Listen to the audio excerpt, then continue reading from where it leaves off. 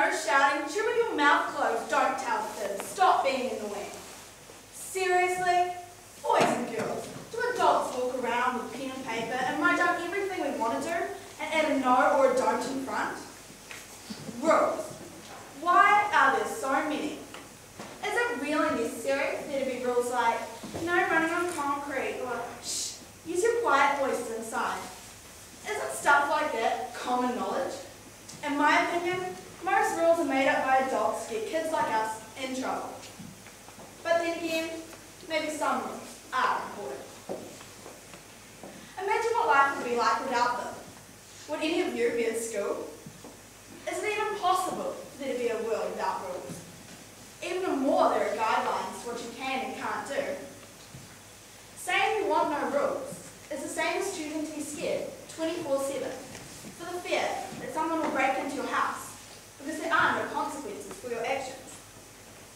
I can only imagine that arguments at my dining room table over who won Monopoly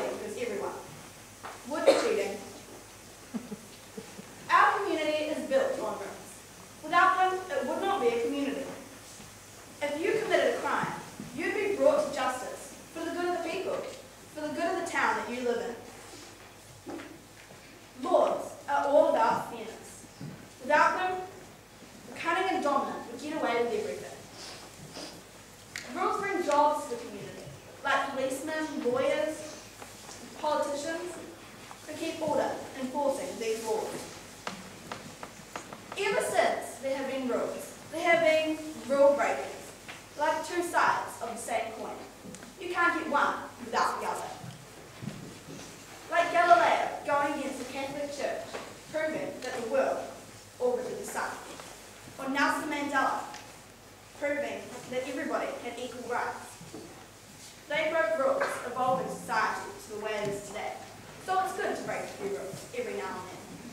as long as they're not rules like drive on the left side of the road.